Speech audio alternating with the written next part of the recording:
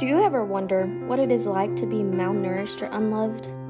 Not many of us can say we haven't been, but these animals at the Humane Society feel that way every day.